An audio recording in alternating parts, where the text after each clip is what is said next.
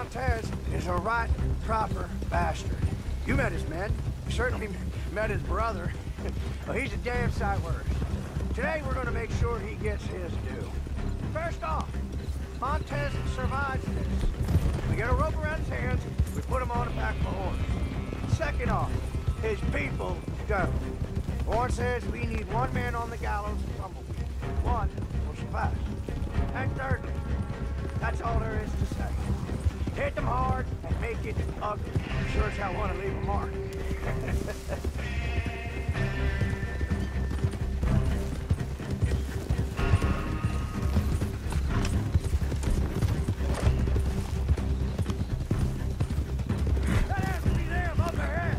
Remember, Montez survives, the rest don't. Let's take this caravan.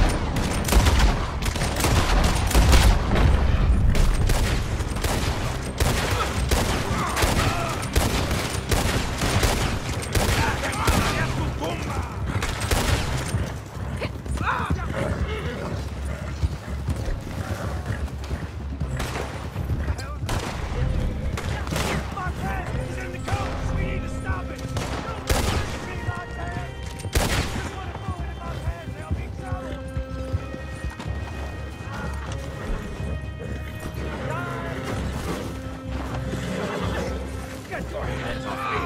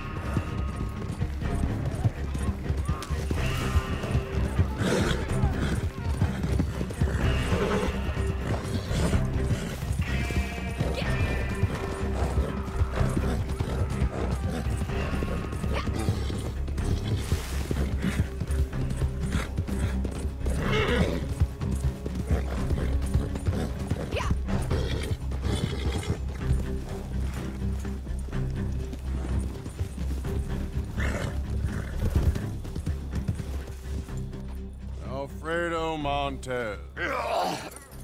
It's been quite a time chasing you, my friend. I know you. I will kill you. I think that's unlikely. A whole lot more likely is you're gonna have your neck broken while these folks here watch and laugh and say what a nasty bastard We shall see. A thousand dollars to whoever sets me free. Well, these folks here have something money can't buy. Honor, dignity, and a sense that not everything is for sale. And they are as foolish as you. And they are. But they're still getting paid a fair price for a job well done.